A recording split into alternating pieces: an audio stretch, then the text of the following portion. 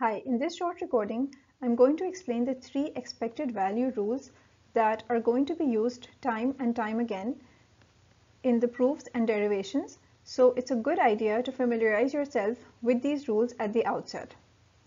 Okay, so the first rule says that the expected value of the sum of several random variables is equal to the sum of their expected values.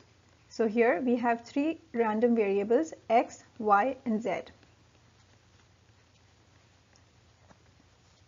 Okay, so that's rule number one.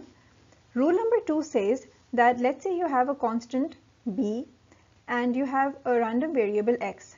Then according to the second rule, if you multiply a random variable by a constant, then its expected value is multiplied by that same constant. And according to the third rule, the expected value of a constant, let's say b, is simply the constant itself. So that's rule number three.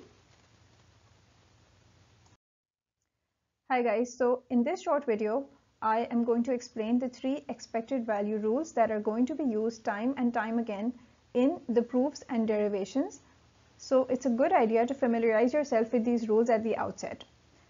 Okay, so the first rule says that the expected value of the sum of several random variables is equal to the sum of their expected values.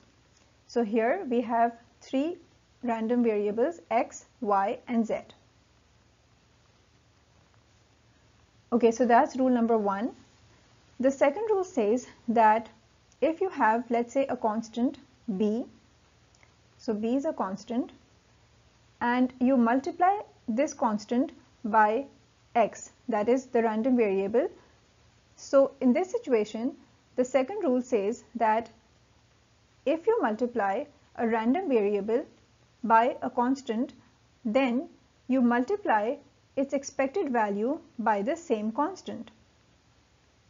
So that's the second rule the third rule is pretty straightforward. Let's say once again you have a constant b.